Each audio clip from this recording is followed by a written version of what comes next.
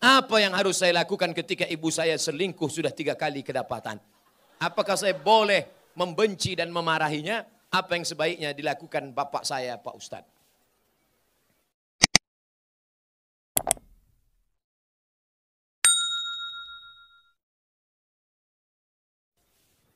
Ustadz, bagaimana cara menghadapi istri yang suka marah?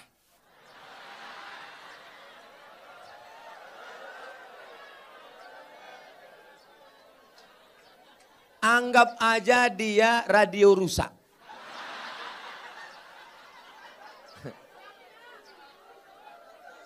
Nikmati aja. Jangan sampai ketika dia tidak ada baru kau menangis. Kalau sudah tiada baru terasa. Oleh sebab itu maka kalau dia marah-marah bilang sama dia, enggak ada lo enggak rame mah. Oleh sebab itu Kenapa dia marah? Jangan kita egois. Kenapa dia marah? Yang mengandung anakmu 9 bulan 10 hari siapa? Dia kan? Yang tak sempat sholat duha, yang tak sempat sholat tahajud, yang menangis di dalam pangkuan, yang tidur sampai subuh, yang tidak sempat menikmati lelapnya malam, yang tak sempat mimpi indah. Itu siapa? Dia. Engkau kan cuma datang sekali-sekali aja jadi. Oleh sebab itu dia mungkin agak marah sedikit. Sabarlah. Khuliqatil mar'atu min dila. Dia diciptakan dari tulang rusuk yang bengkok. Tulang rusuk. Ini tulang rusuk yang paling bengkok. Itulah asal muasal dia. Dia bengkok. In akhasta taha kasar taha. Kalau kau luruskan dia patah. Kalau kau ikut nanti kau jadi bengkok. Kau yang gagah, yang perkasa. Kalau kau luruskan dia, lurus patah. Kalau kau ikut, kau jadi bengkok. Kalau ada pegawai yang ikut istri, pegawai bengkok. Polisi ikut istri, istri polisi bengkok. Tentara ikut istri, tentara bengkok. Satpol PP ikut istri, Satpol PP bengkok. DPR ikut istri, DPR bengkok.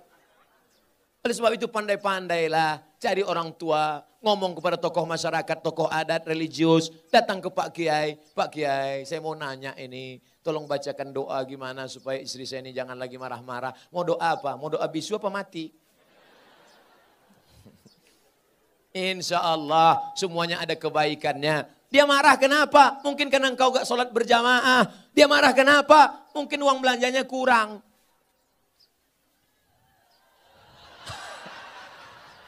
Saya mancing dikit aja. Betul. Itu sesungguhnya adalah luapan kekecewaan yang lama terpendam. Oleh sebab itu kalian pulang nanti duduklah bersama. Tulis baleho seperti ini. Judulnya apa? Mau dibawa ke mana hubungan ini? Oleh sebab itu insya Allah. Kalian berdua ini sebenarnya siapa yang mempertemukan kalian? Allah. Pulang dari sini katakan, Mama, aku tak pernah mencarimu, kau pun tak pernah mencari aku. Allah mempertemukan kita. Apa jawab dia? So sweet, Pak. Oleh sebab itu maka kalau dia marah-marah sedikit, tinggal kau nikmati, kau dengarkan aja. Kalau kira-kira kau kecewa, ambil kapas, sumbat telingamu. Hidupkan earphone. Dah. Udah selesai? Belum? Pasang lagi ya.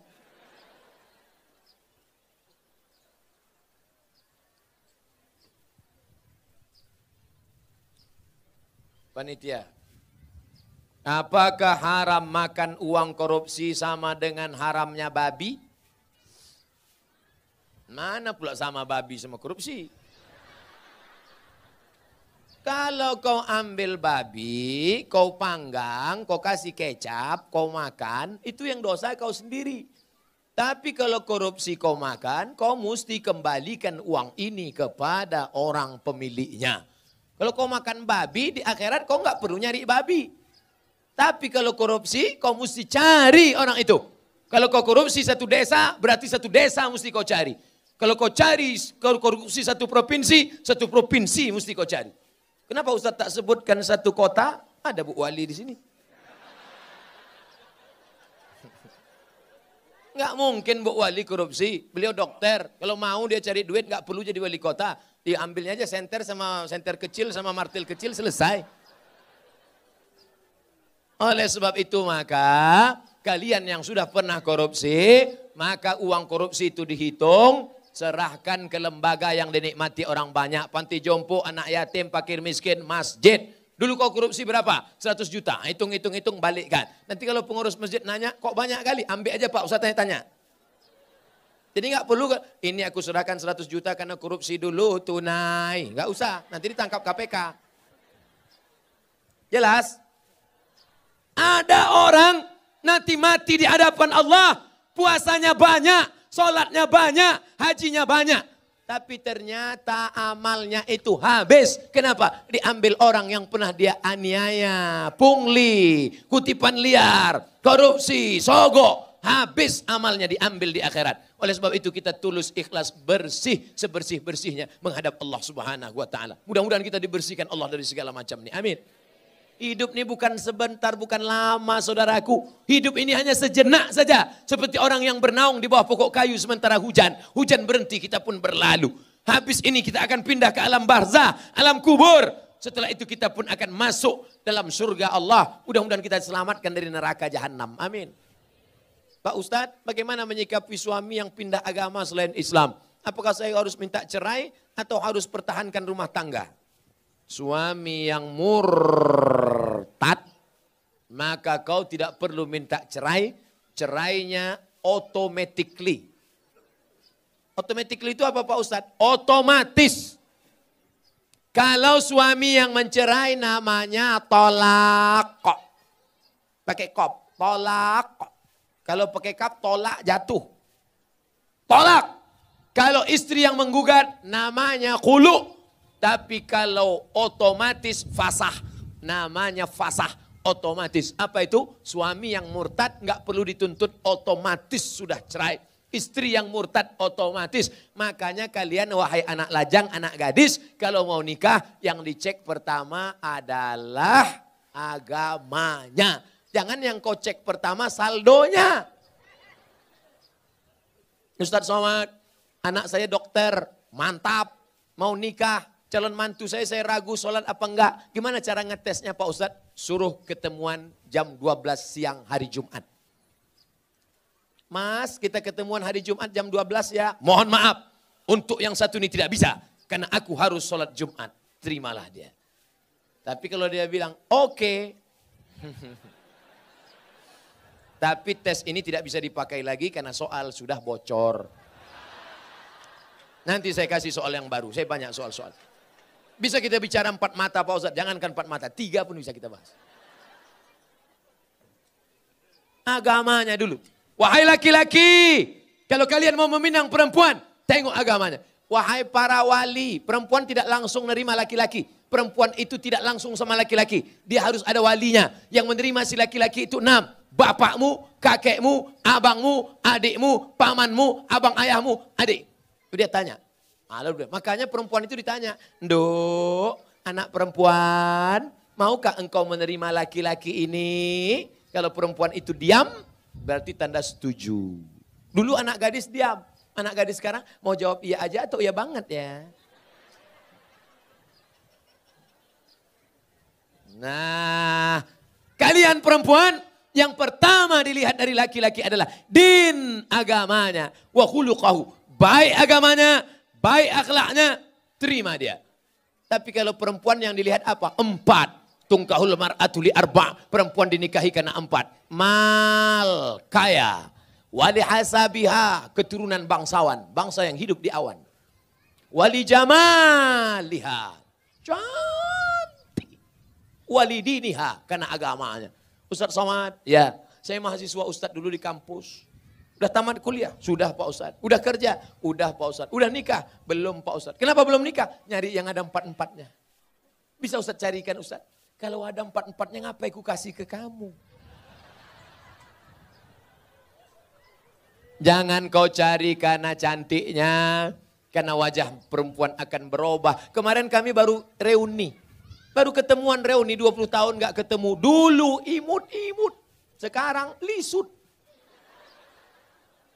Bunga, bagaimana tabiat bunga? Bunga kuntum mekar harum cantik kuning layu mati. Ada bunga yang tak layu, bunga plastik.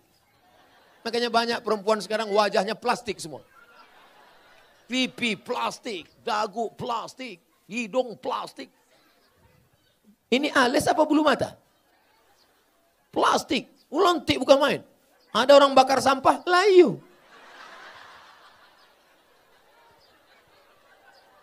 Menggeletar tangan, mencukur bulu mata. Ah, mau pergi undangan, ah, salah potong, hilang semua. Kawan udah mulai nelpon, gimana? Jadi kita berangkat. Wah kacau ini. Hilang, nggak mungkin pergi satu. Hilang kan dua-duanya. Ah, hilang. Gimana? Waduh kacau, gimana ini? Mau ditempelkan ijuk sapu nggak mungkin. Untung ada spidol white ball.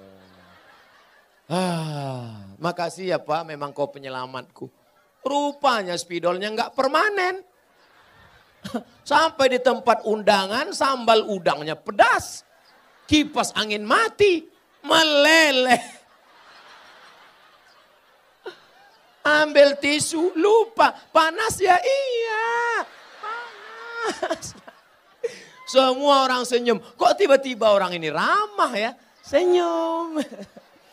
Senyum. Semua senyum. Sampai pulang ke rumah mati lampu jam 9 malam. Assalamualaikum bang. Waalaikumsalam. Dia buka pintu. Allahu la ilaha ilal qayyum. La ta'khudhuhu sinatu wa la naum. Lahu ma fis sama. Kenapa hantu ini nggak pergi? Aku istri apa? Inilah bahayanya.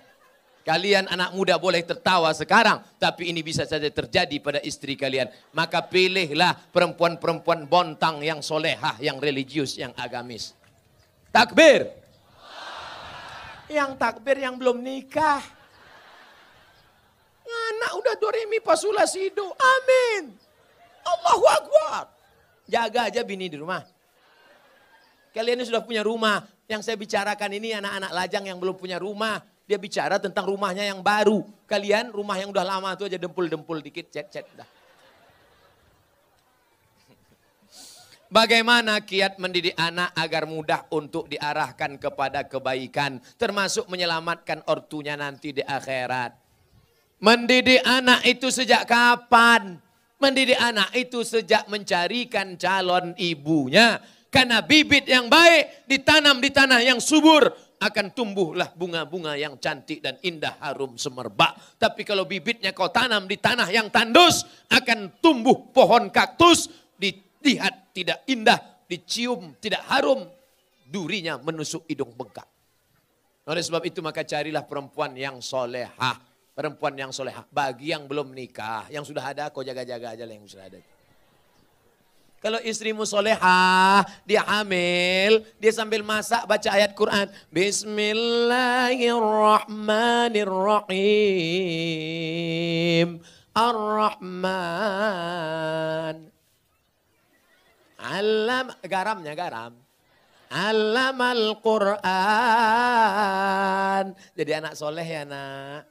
Coba kalau istrimu tak soleha. Ah, dia masak. Hmm, hmm, hmm, hmm, hmm. Ah. Garam tak ada. Ha?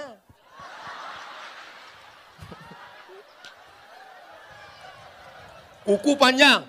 Oh, kuku panjang. Di atas black kutek, di bawah black daki. Ah, dimasaknya kau bakwan. Nah, sebelah kiri pula tuh. Hmm, enak bakwan mama ya? Iya. Hmm. Makanya kalian cari yang solehah, solehah. Setelah anak lahir, selama mengandungkan itu apa yang dia baca? Dia baca surat Yusuf. Datang ke Kiai, Pak Kiai, gimana supaya anak saya baik? Baca surat Yusuf. Maksud Pak Kiai supaya anaknya nanti imannya kuat seperti Nabi Yusuf diajak berzina oleh Zulaika tapi nggak mau. Rupanya dia salah sangka. Disangkanya anaknya ganteng macam Nabi Yusuf. Begitu lahir hitam pendek. Marah sama Pak Kiai. Pak Kiai, kenapa anak saya seperti ini? Kenapa enggak seperti Nabi Yusuf? Suaminya mana? Ini suaminya Pak Kiai. Iya sama.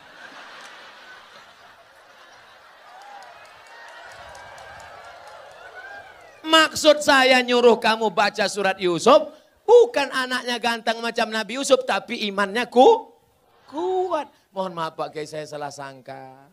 Ya nggak apa-apa lah udah terjadi apa boleh buat pakai. Dia nggak akan marah, dia nggak akan komplain ke kamu. Aku nyesal nikah sama kamu mas, hitam pendek, jelek, busuk, bau. Jangan-jangan aku kena pelet dulu. Dia tetap nerima. Apa kata dia? Mas, aku nggak marah. Karena Islam mengajarkan rukun iman enam. Iman keenam adalah nerima takdir baik dan takdir bu, buruk. Engkaulah takdir burukku mas. Dia ridho nerima. Dia tidak akan marah mencaci maki engkau. Karena dia berkata, walaupun bagaimanapun juga engkau adalah pilihan terbaik menurut Tuhan untuk aku mas. Walaupun ke mana-mana orang selalu bertanya, itu supirmu ya? Lalu kemudian setelah anakmu lahir, dia akan menyusukannya. Disusukannya anakmu berapa lama? Dua tahun. Sekarang banyak perempuan tidak mau menyusukan anak dua tahun. Disusukan anak ke kaleng. Makanya anak pulang sekolah bukan meluk ibunya, meluk kaleng. Tanya Bu Dokter, tanya Pak Dokter Andi Sopian, apa kata dokter? Coba tengok dinas kesehatan, susukan anak Anda enam bulan berturut-turut, ASI eksklusif. Insya Allah otaknya akan cerdas, tubuhnya akan sehat, tidak terkontaminasi penyakit. Dulu kita mandi di sungai enam jam mandi sampai biru bibir. Nggak ada batuk, nggak ada demam. Air susu ibu membuat kita kuat, imun kita sehat. Anak sekarang ngelihat mendong aja bersin. Ikatan emosional dekat. Anaknya disusukan ibu. Ibu yang menyusukan anak untuk menghindari kanker payudara. Ibu yang menyusukan anak sekaligus keluarga berencana. Ibu yang menyusukan anak kedekatan emosional antara ibu dan anak. Makanya anakmu jauh dia tetap nelpon mama mau makan apa nanti adik bawakan makanan ya. Anak yang tidak kau susukan kau titip uang pun dia lupa. Mana ma, titipan mama tadi? Enggak ingat ma, lupa. Jangan heran. Kenapa? Karena hubunganmu dengan dia sudah lama putus. Lalu kemudian setelah itu dijaganya. Dua tahun pertama susukan. Dua tahun kedua lari-lari lompat-lompat. Dua tahun ketiga mulai dia mengajarkan surat-surat pendek. Anak sambil motong-motong bawang, motong-motong cabai. Bismillahirrahmanirrahim. Qul huwallahu ahad. Akhirnya dia ajak sholat. Sekarang kita ketemu perempuan di tepi jalan. Umur lima tahun. Lipstiknya tebal, rambutnya pirang, tiga warna. Merah, kuning, kelabu. Kuteknya merah. Kira-kira anak umur lima tahun ini yang ngajar siapa? Maknya al-ummat nasatul ula. Ibu adalah pendidik pertama. Sekolah sebelum S1, S2, S3 pendidik kita yang pertama adalah ibu. Tadi waktu saya makan ada anak kecil berjilbab panjang. Ustadz, anak kecil mencium tangan saya. Anak kecil ingin duduk dekat saya. Kenapa? Karena anak-anak ini dilahirkan oleh ibu-ibu yang soleha. Di mana ibu-ibu soleha itu berada? Di Bontang.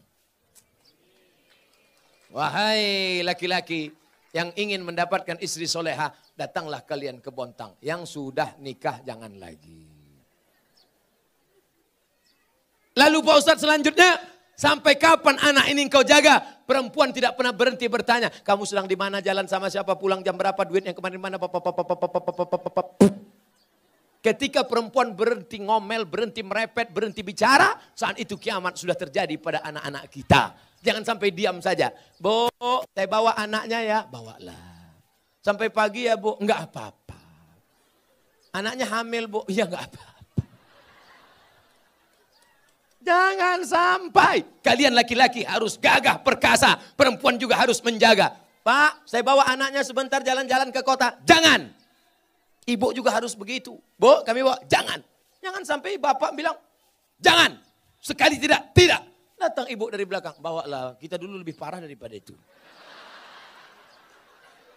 Rusak anak-anak kita. Harus kita jaga generasi ini insya Allah. Pertanyaan terakhir. Ustadz, apakah haram? Oh ini pertanyaan yang tadi, udah tadi. Maka di akhir majelis ini, ada tiga lagi. Masya Allah. 15 menit lagi, dua jam saya ceramah. Saya tahu dari mana? Melihat jam dan rasa kesemutan kaki.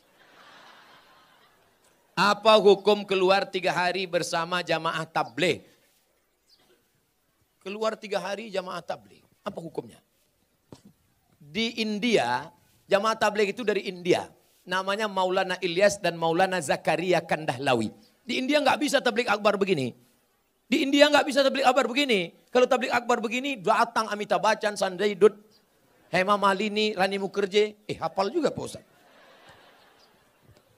Nggak bisa, maka ijtihad Maulana Ilyas Zakaria Kandahlawi, mereka datang dari rumah ke rumah. Dakwahnya dari pintu ke pintu, door to door. Assalamualaikum.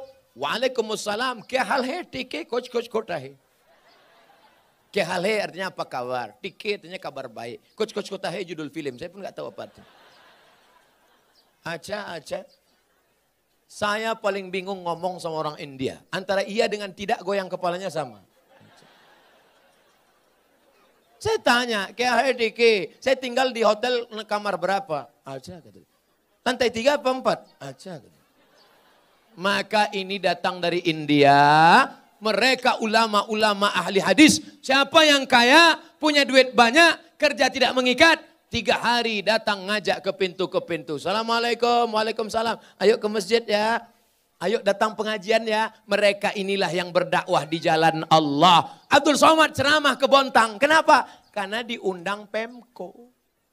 Abdul Somad ceramah ke Bontang. Kenapa? Karena diundang Bada LNG atau LNG Bada. Tapi mereka yang datang rumah ke rumah, ada yang undang mereka? Tidak ada. Ada proposal untuk mereka? Tidak ada. Mereka datang lillahi ta'ala. Ini jamaah tablik aliran sesat Pak Ustadz. Kenapa sesat? Karena mereka berjenggot. Nabi Muhammad berjenggot. Karena mereka bersorban. Nabi Muhammad bersorban. Karena mereka pakai jubah. Nabi Muhammad pakai jubah. Kenapa Ustaz nggak pakai jubah? Ini orang ramai narik-narik. Kalau sempat saya pakai jubah, tanggal jubahnya. Maka saya pakai celana biar supaya cepat lari nanti. Selesai ceramah langsung masuk mobil pulang. Jangan katakan mereka sesat. Mereka adalah orang yang mengajak ke jalan Allah. Mereka aslinya dulu preman, betato, kumis tebal, anting-anting, gak kenal agama. Tapi datang jamaah tablik di terminal, nih preman. Datang, bremo, tatu besar gambar ular kobra. Datang itu jamaah tablik memukul ular kobranya. Hei, ayo ke masjid. Berani yang tengah saya? Besok dia datang lagi. Lama-lama preman ini tersentuh. Datanglah dia ke masjid. Ini bukan cerita bohong. Ini bukan cerita yang diada-adakan. Seorang preman di kampung saya. Rambutnya panjang, punya meja biliar. Tidak pernah sholat. Akhirnya saya pulang dari Mesir. Dia yang jadi imam di masjid. Bismillahirrahmanirrahim. Saya heran. Siapa ini? Assalamualaikum warahmatullah. Eh, yang punya meja biliar. Saya tanya, abang gimana ceritanya tobat? Ustadz-ustadz gak pernah menceramahi aku. Aku gak pernah datang ke masjid. Aku gak pernah dengar khutbah. Aku gak pernah nengok tablik akbar. Tapi ada orang yang datang ke meja biliarku mengajakku. Siapa itu? Inilah dia jamaah tablik. Berapa banyak orang dapat hidayah karena mereka. Kalau engkau belum sanggup seperti mereka, jangan ejek olok-olok mereka. Ini banyak orang ejek. Apa itu? Itu jamaah kompor. Apa itu? Itu jamaah KUPJ. Apa itu KUPJ? Kelompok Ustadz Panjang Janggut. Oleh sebab itu maka mereka dakwahnya lembut. Assalamualaikum Pak Haji. Waalaikumsalam. Ayo ke masjid ya Pak Haji. Jangan ajak-ajak saya. Kamu belum lahir, saya sudah haji. Apakah mereka jamaah tablik berhenti? Mereka besok ajak lagi. Assalamualaikum Pak Haji. Waalaikumsalam. Ayo ke masjid ya Pak Haji. Kan sudah kubilang kemarin. Ini kening sudah sujud seribu kali di Masjidil Haram. Catatan amal sudah penuh. Aku tinggal masuk surga aja lagi. Tinggal sana, pergi, pergi, pergi. Masjid kalian yang jelek itu nggak level ya. Hari ketiga mereka datang lagi. Assalamualaikum Pak Haji. Apa? Mau ngajak lagi? Mau ngasih tahu Pak Haji. Nanti kalau Pak Haji mati kami biarkan ya. Akhirnya Pak Haji pun ke masjid juga. Oleh sebab itu maka dakwah mereka lembut. Apa pernah jamaah tabligh marah-marah mengkapirkan enggak? Mereka datang ngasih siwa, minyak wangi, ngasih sorban, ngasih parfum, ayo ke masjid Pak Ustaz. Kalau enggak setuju, mereka enggak marah. Apa pernah jamaah tabligh marah sama saya karena saya nggak berjenggot? Enggak. Apa pernah mereka mengatakan, yang nggak berjenggot masuk neraka? Jangan kelahi gara-gara jenggot. Jamaah tabligh berjenggot DJ. Aku ngeliat ente berjenggot kayak kambing. Yang berjenggot juga marah. Aku kambing, kau nggak berjenggot anjing. Akhirnya berantem anjing sama kambing. Yang senang siapa? Musang berbulu ayam. Mereka nanya, kenapa mereka kelahi? Gara-gara jenggot. Di masjid lagi. Iya, untung kita nggak ke masjid. Rusak persatuan. Itu tidak terjadi di Bontang. Kenapa? Karena Bontang tertib agamis. Mandiri, aman, nyaman. Kalau terjadi mungkin di dekat-dekat perbatasan luar Bontang. Apa yang harus saya lakukan ketika ibu saya selingkuh sudah tiga kali kedapatan? Apakah saya boleh membenci dan memarahinya? Apa yang sebaiknya dilakukan bapak saya, Pak Ustadz? Engkau dulu lahir ke dunia ini lewat rahim ibumu atau lewat tabung gas 9 kilo? Apakah bisa kau katakan, Mama, aku tak pernah. Tidak pernah kita pernah. Kita pernah lalu di perutnya, lalu di rahimnya, dan dia meregang nyawa. Itu tidak bisa kau pungkiri. Oleh sebab itu bahwa dia bersalah. Ya, tapi kesalahan dia tidak membenarkan kedurhakaan engkau. Maka caranya bagaimana? Suruh bapakmu menasehatinya. Bapakmu pun kok bisa dia buat selingkuh tiga kali. Ke mana bapakmu selama ini? Laki-laki itu kan tahu dia. Periksa HP-nya. Tiba-tiba di HP ketawa-ketawa. Kiki, kiki, kiki, kiki. Kau ngapain siapa? Sama siapa? Sama mantan bang. Reuni-reuni dia pergi. Tanya dia. Ibu-ibu kalau reuni bapaknya ikut. Nanti pergi sendirian. Ditanya, mana gambar suamimu? Ini. Gantengan aku ya? Iya bang. Akhirnya semua berawal dari macam. Udah macam abang saya, udah macam adik saya. Berawal dari macam, berakhir dengan macam-macam. Oleh sebab itu ini mesti kita jaga. Nah, dalam kasus begini bagaimana Pak Ustadz? Laki-laki dua. Yang pertama dia sabar atau dia gugat ke pengadilan. Kalau kau sabar, kau jaga dia. Kalau tidak, kau gugat di pengadilan maka kasus perselingkuhan paling cepat hakim menjatuhkan talak. Kalau kau sabar, jaga dia dengan baik. Kalau kau tak sabar, kau lepas dia dengan baik. Bunga bukan setangkai, kumbang bukan seekor, patah tumbuh hilang berganti, hilang satu tumbuh seribu. Gimana? Sabar? Saya sabar Pak Ustadz. Jaga dia sampai mati, saya jaga Pak Ustadz. Lupakan yang lain, lupakan. Jaga dia. Tapi jangan mulutmu berkata sabar, hatimu berkata yang lain. Gimana aku bisa menerima dia? Dia sudah diobok-obok tiga orang. Oke, kertas terakhir. Saya seorang akhwat. Kelihatan dari tulisannya? Ada yang ingin saya tanyakan. Dia kalau nanya sama saya, tulis aja pertanyaan. Ini dia buat, saya seorang akhwat. Dibuatnya tanda nah, titik dua. Hmm. Ustadz, seorang akhwat, ada ingin saya tanyakan. Ada orang melamar saya, tapi saya sedang menyukai orang lain. Bagaimana ya Pak Ustadz? Ini mancing-mancing aja. Ada laki-laki melamar engkau, tapi hatimu sedang suka dengan orang lain. Maka kau tengok dulu mana di antara dua laki-laki ini yang bisa menyelamatkan engkau dunia akhirat. Kalau tiba-tiba yang ini datang, ini jantan dia, perkasa dia, dipinangnya kau dengan baik. Ini cuma berani bawa engkau makan mie ayam, bakso, bonceng sana, bonceng sini, pegang tangan, ujung jempol kaki.